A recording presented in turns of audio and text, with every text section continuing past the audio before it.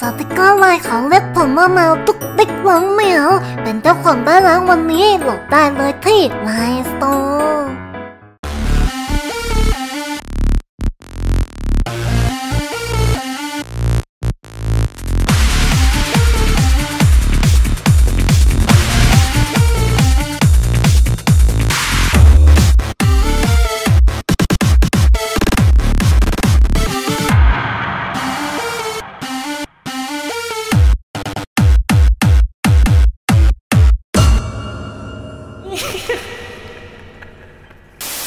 วัสดีฮะ พบกันอีกแล้วกับรายการปาทูตับรายการที่จะพาไปพบกับเรื่องหลอนๆแต่ไม่น่ากลัว วันนี้กองฟูจะพาเพื่อนๆ มาฟังเรื่องของสามตำนานแมวลึกลับของญี่ปุ่น ตำนานแรกเนโกมาตะ เพื่อนๆหลายคนคงจะเคยได้ยินมาแล้วเนโกมาตะหรือแมวผีนั้น มีเรื่องเล่ามาว่าเมื่อแมวบางตัวมีอายุมากขึ้นจะมีตาบะสูงขึ้น แล้วกลายเป็นแมวผี ที่เรียกกันว่าบาเกะเนโกะซึ่งมีหลายวิธีที่มันจะสามารถกลายเป็นบาเกะเนโกะได้ แล้วเมื่อหางมันแยกออกเป็นสองหาง มันถึงจะพัฒนาร่างกลายเป็นเนโกมาตะ ซึ่งเนโกมาตะสามารถขยายตัวได้ถึง1เมตรและส่วนมากจะเดินด้วยขาหลังสองขา และมันเป็นผีที่ไม่ยอมให้ใครมาดูถูก ถ้าใครปฏิบัติกับมันไม่ดี มันจะจดจำอย่างฝังใจ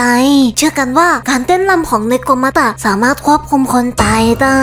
นอกจากนี้ยังมีเรื่องที่เล่าถึงเนโกมาตะ ซึ่งหลงรักเจ้านายของตนเอง และแปลงร่างเป็นสาวงาม เพื่อใช้ชีวิตอยู่ด้วยกันด้วยนะ ในการ์ตูนญี่ปุ่นก็มีเรื่องราวเกี่ยวกับเนโกมาตะอยู่มากมาย แถมยังสวยซะด้วย แต่มันก็เป็นแค่ตำนานน่ะฟูยังไม่เคยเห็นแมวกลายร่างได้จริง ๆ เลย ถ้ากลายร่งได้ฟูก็อยากเป็นหุ่นยนต์กันดั้มเหมือนกันนะ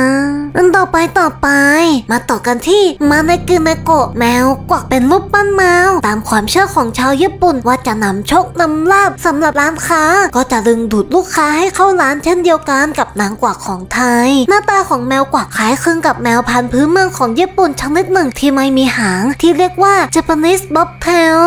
ตำนานของแมวกวักมีหลายเรื่องเรื่องที่ขึ้นชื่อก็คือเรื่องที่เล่ากันว่าเกิดขึ้นในยุคเอโตะมีหญิงชราคนหนึ่งยากจนมาก แต่นางมีแมวเลี้ยงอยู่ตัวหนึ่ง และรักแมวมาก มีกินก็กินร่วมกันกับแมว อดก็อดพร้อมกันกับแมว จนในที่สุดก็ไม่สามารถเลี้ยงไหว จึงนำไปปล่อย คืนนั้นเอง นางก็นอนเสียใจร้องไห้ทั้งคืน กระทั่งฝันว่าแมวมาบอกกับนางว่าให้ปั้นรูปแมวจากดินเหนียว แล้วนางจะโชคดี เช้าวันรุ่งขึ้นหญิงชราจึงตื่นขึ้นมาปั้นแมวจากดินเหนียวไม่ทันไรก็มีคนแปลกหน้าเดินผ่านหน้าบ้าน ขอซื้อตุ๊กตาแมวตัวนั้นจากนางไป จากนั้นนางก็เพียงปั้นแมวขึ้นมาอีกตัวแล้วตัวเล่า ตุ๊กตาแมวจากการปั้นของนาง ก็มีผู้มาขอซื้อไปตลอดเวลานางจึงเริ่มมีเงินทองจากการขายตุ๊กตาแมว และสามารถนำแมวเลี้ยงสุดที่รักของนางกลับมาเลี้ยงได้อีกครั้งหนึ่ง ตั้งแต่นั้นมาจึงเป็นที่ล่ำลือกันว่าแมวเป็นสัตว์นำโชค และมีการปั้นและวางแมวกวักไว้ตามที่ต่างๆ จนกลายเป็นที่ที่นิยมไปทั่วโลกในเวลาอันรวดเร็วตำนานสุดท้าย ปีศาจแมวโคมะ เป็นปีศาจแมวที่พบได้ในตำนานของประเทศญี่ปุ่น เป็นเรื่องของปีศาจแมวผู้พักดีต่อนายของมัน ในตอนแรกปีศาจแมวโคมะก็เป็นเพียงแค่แมวธรรมดาที่อยู่ภายใต้การปกครองของตระกูลริวโซจิแต่หลังจากนั้นเจ้าของบ้านตระกูลนาเบชิมะได้ฆ่าเจ้าบ้านริวโซจิตาย แล้วเอาศพไปฝังในกำแพงบ่อน้ำเก่า แล้วทำกบเกลื่อนเหมือนไม่มีอะไรเกิดขึ้น แต่แต่โคมะก็ได้ไปตามคาบหัวของเจ้าของบ้านกลับมาบ้านตัวเอง จนทำให้นายหญิงของบ้านริวโซจิ เกิดความแค้นอย่างมหันสาบ ช่งตระกูลนาเบชิมะไว้ และฆ่าตัวตายตามไป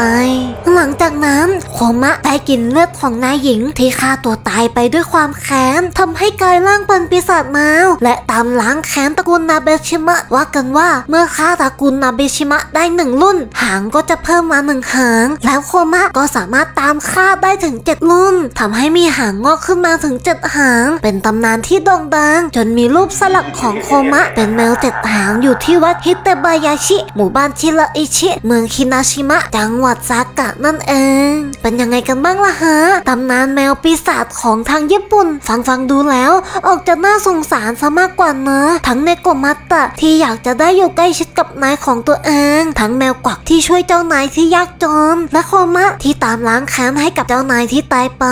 เนี่ย ใครว่าแมวไม่รักเจ้าของคิดผิดคิดใหม่ได้นะฮะ แมวก็ซื่อสัตย์กับคนเลี้ยงพอๆกับหมา และสัตว์อื่นๆนั่นแหละฮะหวังว่าทุกๆ คนจะรักแมวของตัวเองให้มากๆ เหมือนที่เขารักเรากันนะฮะสำหรับวันนี้ฟูเองก็ขอลาไปก่อน สวัสดีฮะอย่าลืมกดไลค์ กดแชร์ กด Subscribe ให้ด้วยนะฮะ